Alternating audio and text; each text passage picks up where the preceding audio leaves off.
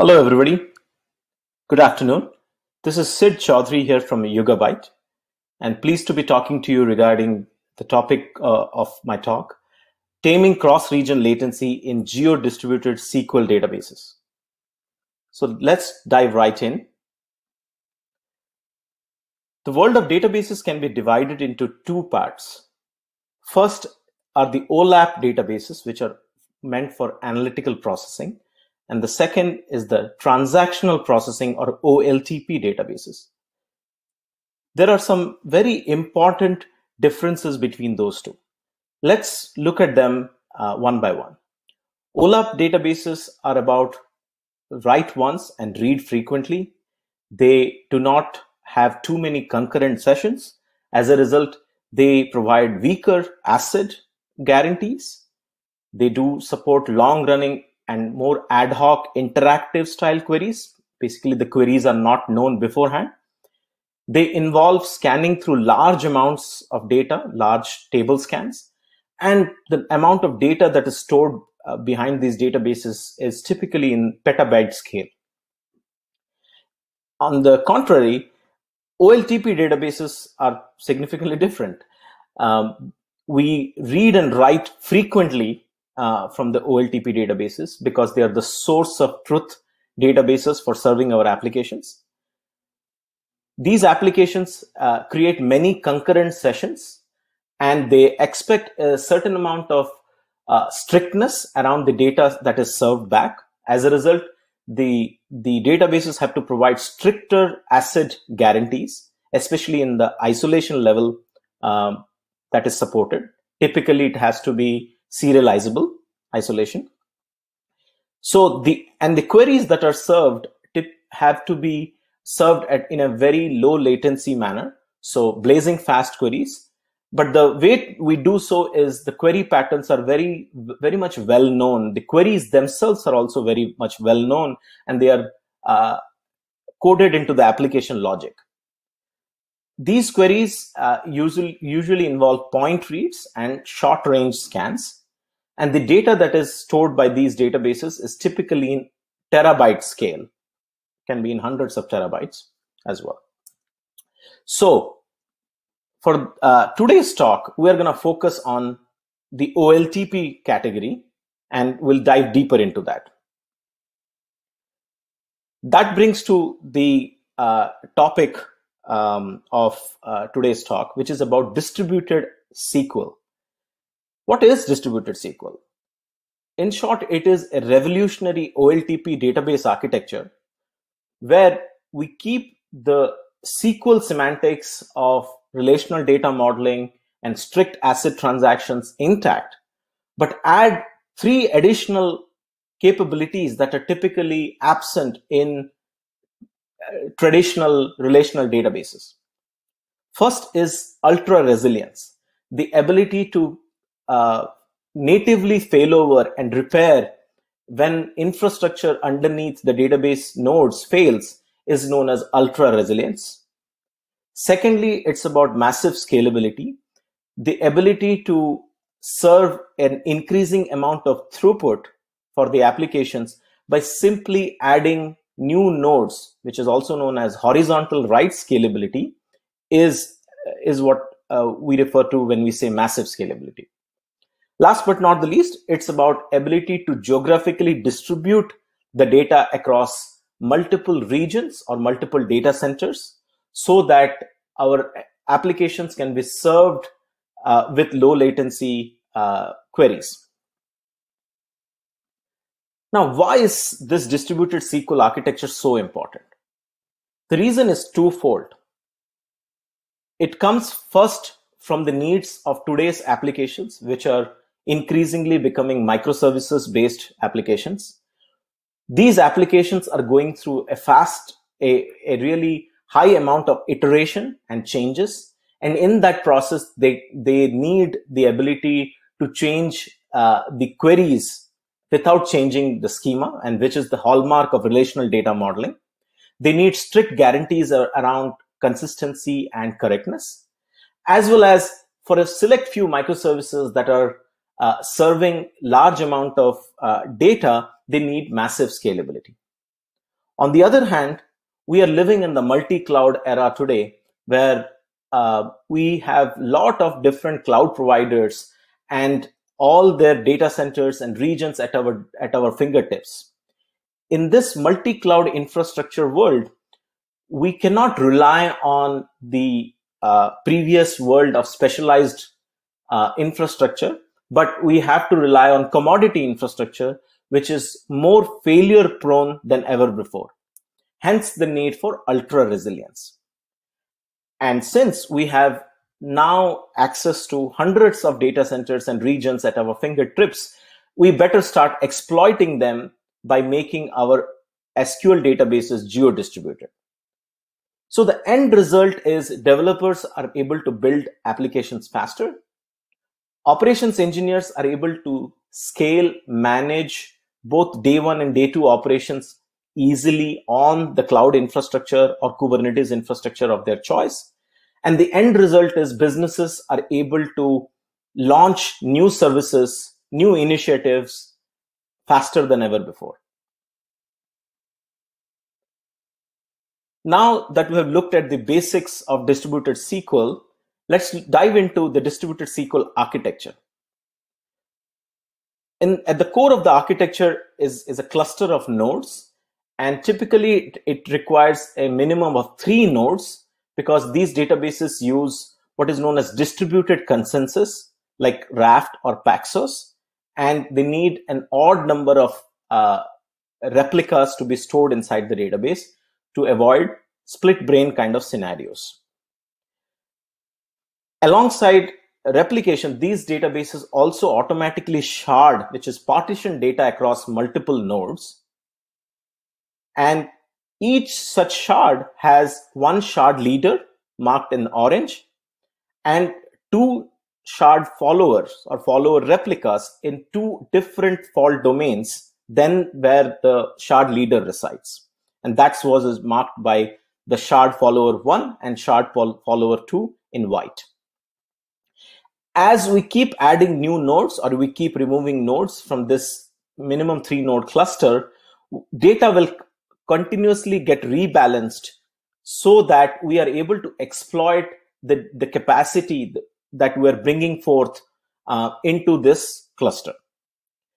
The end result of all this hard work is that microservices applications can now benefit this entire cluster of nodes as a single logical relational database that speaks the well-known SQL language. With that, I will introduce you to Yugabyte DB, which is a distributed SQL database with its own unique characteristics. First and foremost, it speaks the PostgreSQL language. So it's fully compatible with the PostgreSQL drivers and its ecosystem. Secondly, it's about giving high performance, both in terms of low latency as well as high throughput as you deliver, as you add more nodes into the cluster. And, and it is built for the cloud native and Kubernetes ecosystem where infrastructure is highly dynamic and highly failure prone. And as a database, it has all the built-in guarantees, uh, including ACID compliance, to ensure that even in such a dynamic environment, you do not ever lose data. Last but not the least, it is a 100% open source database distributed under the permissive Apache 2.0 license.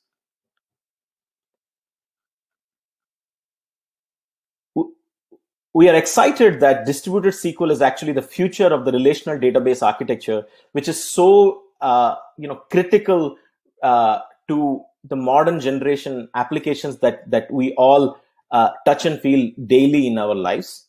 Previously, we'd have relied uh, on um, traditional RDBMSs like MySQL, Postgres, Oracle, SQL Server.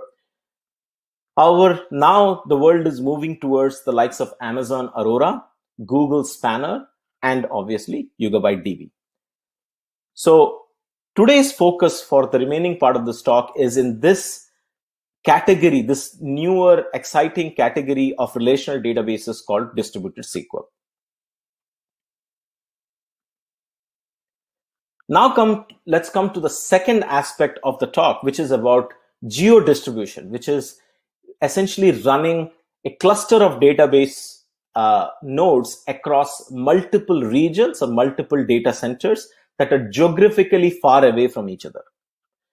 Now, typically, in a traditional RDBMS,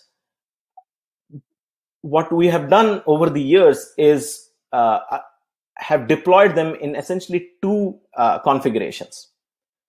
First is the active passive configuration primarily used for disaster recovery, where even though my applications layer is running uh, in multiple regions because they are stateless, they, they don't have any state, internal state to manage. They rely on the database to manage their state.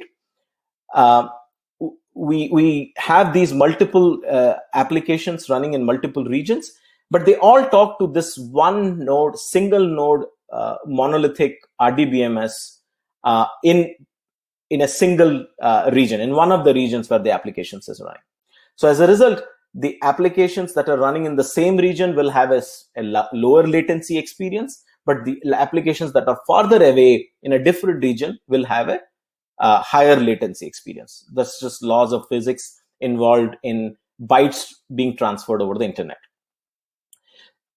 in order to make this uh, setup uh, you know amenable uh, to recovery from disasters we add a passive replica in a different region and we use uh, what is known as asynchronous replication which is essentially taking the write ahead log of the uh, you know master database instance and replicating after the data has been committed over to the passive replica in a separate separate region. Now, the pa passive replica has no knowledge that there is this stream is actually coming from a different database instance. It is just another writer to the database. While this sort of gets the job done, the, there is a penalty or there is a compromise to be made here. Um, we have to manually promote this passive replica if we have a total outage on our region and we lose the instance and during this failover, we will have some temporary data loss for data that has not yet had a chance to replicate over to the passive replica. This is how we have had uh, have been using relational databases forever. So this wouldn't be new to anybody. Second architecture, which is also getting common, is what is known as active-active or multi-master architecture, where we create two full copies of the database, essentially active master one and active master two are essentially having the same data. They're copies of each other. And there are, uh, you know, passive replicas that are present to tolerate the loss of that uh, master in that particular region. And then we add bidirectional asynchronous replication. And the end result is that if we update the same record on both sides, then the last writer who, uh, wins in, in this, this semantics. And the result is that one of those two writes will actually be lost forever. So uh, applications have to take a lot of care to not uh, write to the same records from both sides in such a uh, active active multi-master deployment of a uh, traditional RDBMS. Again, these things are very well understood. We have learned to live with it. But distributed SQL is exciting because it goes to the heart of change uh, to these problems and starts changing them.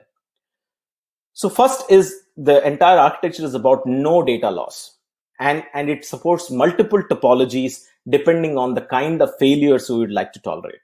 Let's start with the simplest where there is a single data center, a single region and there are multiple racks or multiple availability zones and a single cluster is stretched across three such availability zones. As writes are coming into any of those nodes, they're consistent across these zones. Uh, you will be immediately able to write to one zone and read from the other zone the same data. There is obviously no cross region latency here because we're in the single region but there is no region level failover and repair as well. So if we lose this entire region, then we are uh, we are in a uh, troubled spot and we'll have to recover using uh, a, a full cluster backup, right? Which usually involves some amount of manual processing.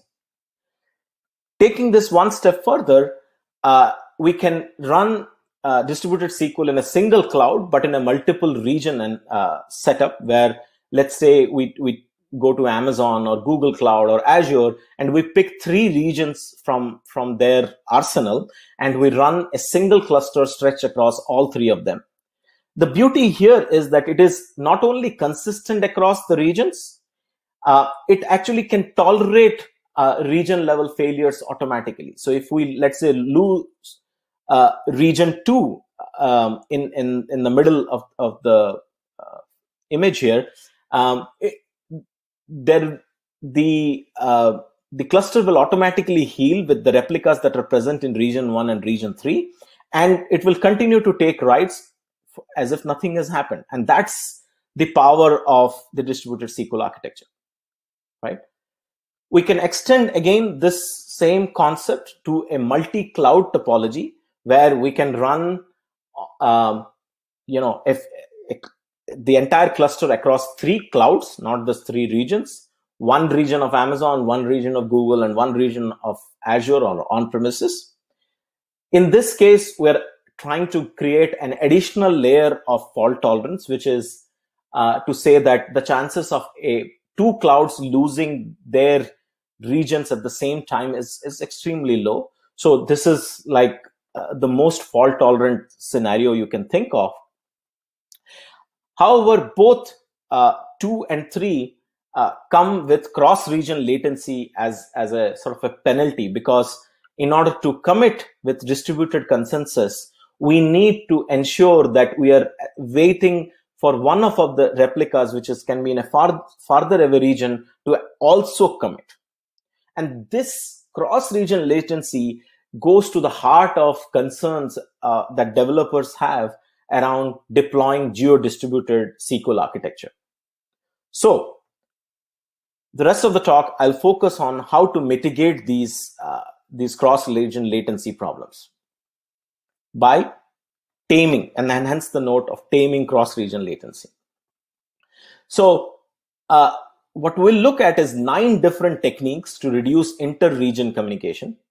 And it's categorized into two uh, blocks one is the basic building blocks, which has a few uh, constructs that you can, uh, as, as, as application developers, you can use.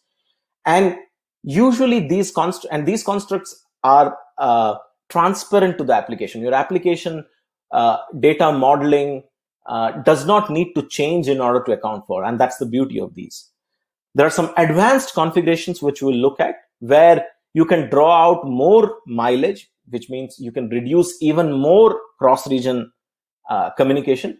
But in those cases, you have to build your data model a little bit differently, a little bit more smartly in order to exploit the power of distributed SQL. So let's dive right into each one of them. First is about strongly consistent, which is also known as correct reads uh, without using any quorum in the read path.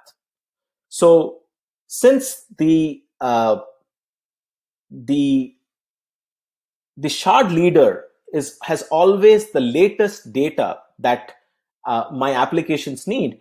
We can always rely on them to serve us the data uh, without necessarily being dependent on any other replicas on the read path. Note that we have already done the hard work of updating the replicas on the write path. So we want to get the benefit of that hard work on the read path by just simply asking the shard leaders uh, to give us the strongly consistent information.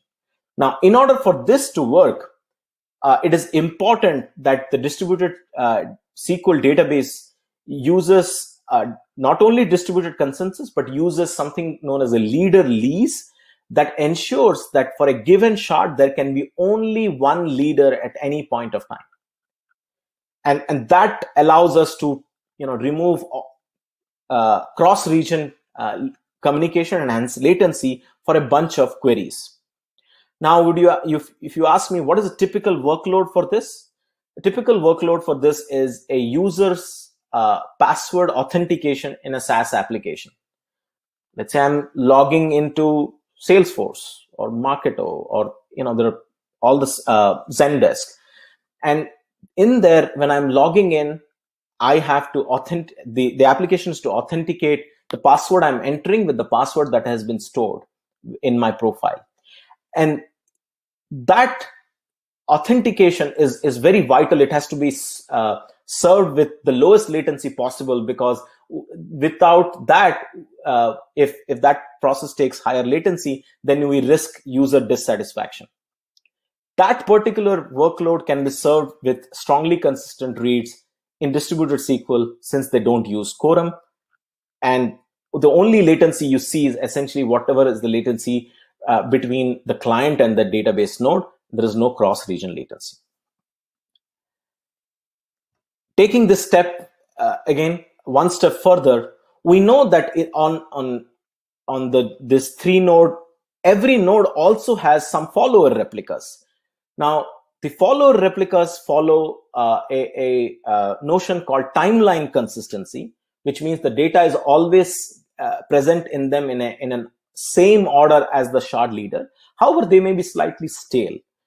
So if if we're okay, the workload is okay to, to accept timeline consistent follower reads, then we can tell the database to give us follower data without ever consulting the shard leader. And the typical uh, workload that, that uh, serves for this purpose is product reviews in a retail application. There may be 200 uh, reviews uh, at this point of time for a given product or a given item but the users who who who who are seeing these products on their mobile phones or their web apps they wouldn't realize if we had uh, 199 instead of 200 in the list of product reviews that we present to them so that's this is the place where slightly stale data is okay uh, and and we can serve that information through the follower replicas. And this also has the added benefit of reducing the uh, pressure or the load on the shard leaders to serve all kinds of queries. Joins pow powered by follower reads is essentially uh, a combination of the step uh, of the technique one and the technique two that we talked about, where instead of relying on just the shard leader and just the followers, we take a sum total of that view uh, and go to any node and say, uh, give me the list of tickets that are filed by a single user. Again, this will not be 100% accurate, but it will not, it will have slightly stale timeline consistent information that is good enough for most purposes if we actually want to avoid cross region latencies um, in distributed SQL architectures. Okay, so we have, we have seen three of the techniques. Let's go over to the fourth technique. In the fourth technique, we tell the database cluster to pin all our shard leaders to a single region instead of distributing them uniformly across all the regions. Why would we do so? We would do so if we know ahead of time that a single region is dominant with respect to our read requests. If we take the loyalty application of a East Coast brand in the US like Dunkin' Donuts, then obviously most of the reads to that loyalty application emanate in the East Coast. So if we pin all the shard leaders to the US East region, then we are guaranteed that we can even serve completely strongly consistent information across even fully relational uh, schemas by simply going to that one region where all the that one preferred region where all the shard leaders are stored again by using the dis- the per shard distributed consensus architecture smartly and by giving uh, hints to the cluster at uh, at either uh, query time or at cluster creation time without changing data modeling we can actually draw out a, a lot of mileage from the distributed SQL architecture uh, where cross-region latency is, is non-existent. Okay. Now we'll go to the advanced scenarios. One such advanced scenario is known as row level geopartitioning. Imagine that we are the uh, we're building the user profile of uh, Zoom web conferencing or WebEx web conferencing. Now, naturally, web conferencing is a global application. They have users in almost every country of the world. So, how do we model such a um, user profile? We would create, uh, okay, in today's world, without distributed SQL, it's a very complicated problem.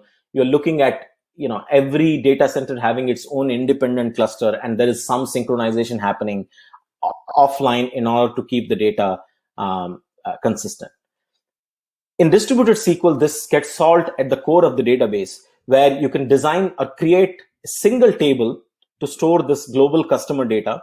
But alongside each uh, customer or user information you also store the country of residence. And then you uh, you tell the database that as incoming rows uh, are coming in we look at that particular country of residence column in, in that row and pin it to the nearest uh, region where the cluster is located the end result is that uh, reads from a particular region will not have to travel outside that particular region and we saw that uh, the first technique, right, strongly consistent reads do not require quorum. The same benefit applies now in the con- in the context of geo partitioning, where a single table is spread across multiple nodes of multiple regions, but data is localized to that particular region for that node. Very, very interesting concept.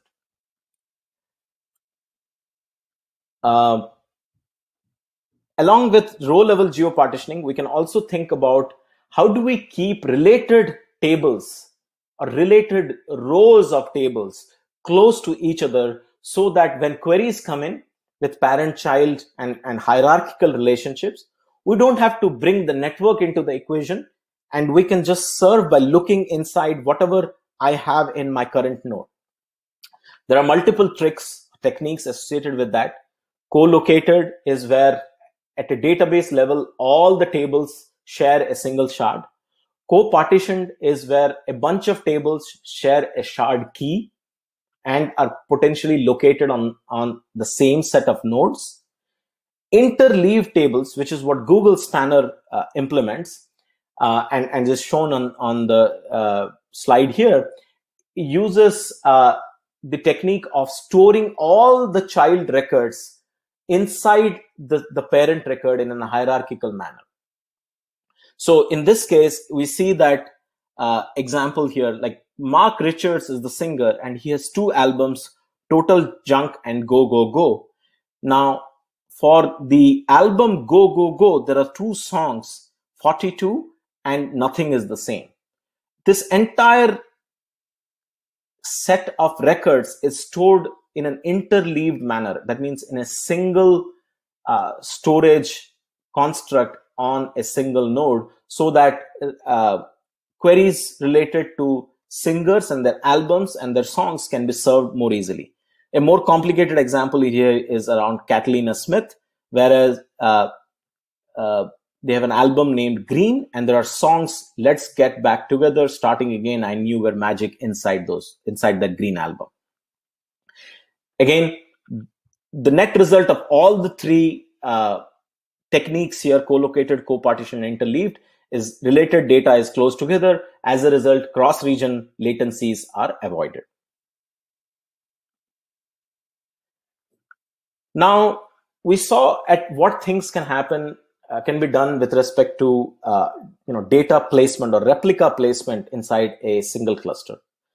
How about we also look at from perspective of the client, right? Um, if we're using standard SQL client driver, uh, like PostgreSQL, for example, then uh, those client drivers are not aware of uh, this, this concept of multiple nodes powering a single database cluster.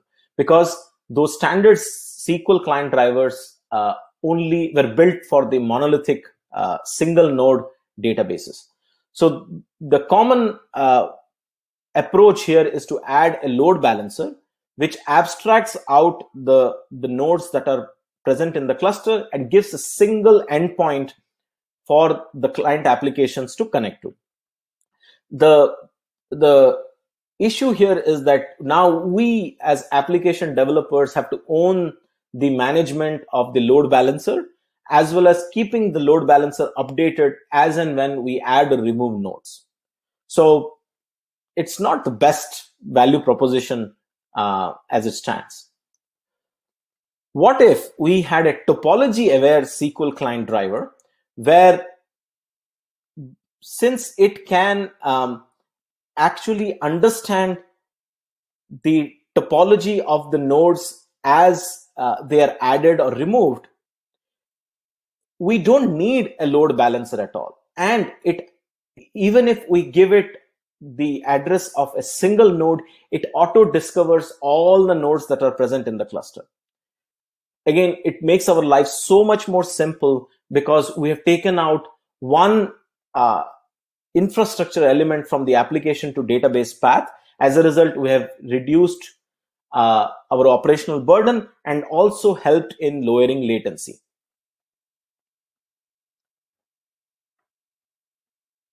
There are other approaches as well to uh, to using uh, distributed SQL in a geo-distributed fashion.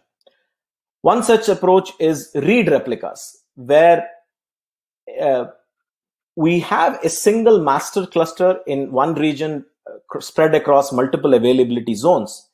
But in order to serve very remote, very far away reads, means reads from far away regions, we actually create a separate read replica in, in those regions and we make the clients of those regions connect to that read replica first so that if they are doing reads and they can accept timeline consistent which is slightly stale reads then read replicas suffice uh, completely. And there is no reason ever to come to the master cluster which can be really far away. But if writes come in to the read replica, uh, then it automatically redirects that write back to the master cluster because that is where the writes are being taken. So this helps in reducing latency uh, if the workload allows for that kind of an approach.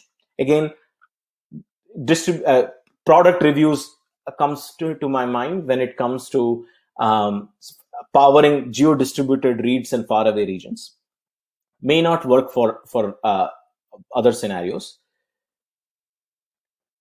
Then the last deployment is actually a two cluster deployment. It's not one cluster. And in this case, each cluster sort of works as a, as a master cluster in its own right, similar to the traditional RDBMS paradigm we saw before.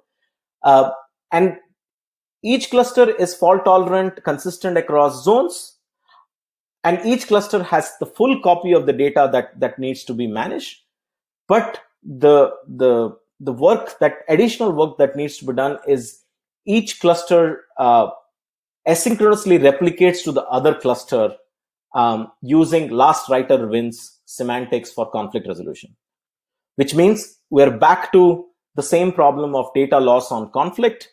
Um, but we do get the benefit that um, our writes are never uh, cross region and on failure we can always make the um, applications talk to the the master cluster that is still alive in a different region okay so i covered uh, nine techniques today in order to reduce uh, cross region latency in in distributed sql databases as summary, I would like to point out that distributed SQL is an exciting architecture which is increasingly becoming the future of relational databases. There are a few reasons behind it. It keeps the, uh, the power of SQL's relational data modeling and distributed ACID transactions intact because that's what we need to serve our source of truth uh, data. it keeps it, it brings in the the aspect of native resilience against failures at disk, node, zone, region, and cloud level, which are all the more common in the multi-cloud world we live in. It adds the ability to do horizontal write scaling uh, with continuous data rebalancing automatically. You don't have to write any complex replication logic on your own. You don't have to manage those scripts and run them from time to time. Everything is baked into the core of the database. It offers us multiple geo-distributed deployment options to pick and choose depending on how much latency is acceptable to us compared to how much resilience we desire from our infrastructure. And it does all this while ensuring that no data is lost as long as we stick to the, the, the guarantees that, that are provided. And it gives us a single logical SQL database, which is a powerful notion from an app development standpoint, where I don't even need to know whether my SQL application is backed by a three node cluster or a 100 node cluster. Geo distributed is a, a deployment paradigm, which is very exciting. Previously, it was not even possible in the SQL world, uh, other than you know very basic uh, active passive disaster recovery that and, and active active multi-master that I talked about. Uh, however, the concern that geo-distributed SQL always implies cross-region latency is not true. There are multiple techniques that are that are available to us, and every database implements it to these techniques uh, to some extent or the other. And we use those techniques intelligently to reduce cross-region communication. As we saw, there are two categories of such techniques. The basic building blocks are heavily reliant on the core per shard distributed consensus architecture while the advanced and, and they're completely transparent to the application's data modeling while the advanced configurations rely on more explicit data modeling changes such as row level geo-partitioning and as well as uh, use of new smart topology aware client drivers. With that i have reached the end of my presentation. I uh, recommend uh, the audience to uh, to review the distributed SQL blog uh, that all of us at Yugabyte write, where we talk about various concerns that that uh, we, I touched upon today. You can uh, welcome to join our community um, Slack channel, and you're well welcome, obviously, to install Yugabyte DB on your own and see for yourself how distributed SQL can can make a difference in your app development lifecycle. With that, thank you.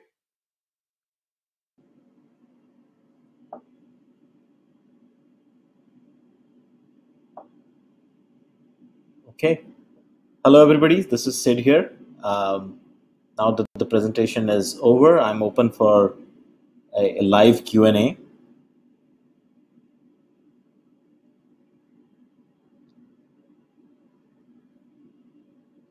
You can put in your uh, question in the in the Q&A with speaker window that you see in your on your screen if you have any questions. I am also available um, on the uh, OSS ELC uh, Slack community, um, and there is a dedicated channel for open source databases. Um, I'm hoping that open source and databases are exciting to you. Please come and uh, join us on that Slack channel. Would love to engage and, and, and discuss uh, your, your thoughts and, and concerns.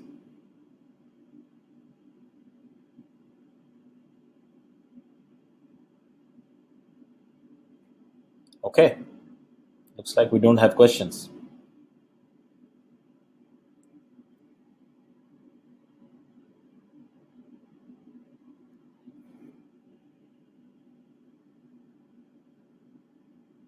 Tina, I think uh, we're done here.